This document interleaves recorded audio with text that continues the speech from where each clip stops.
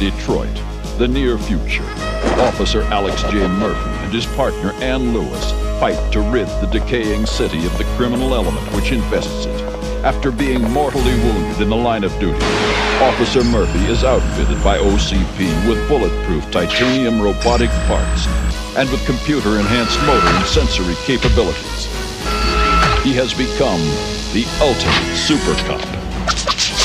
RoboCop.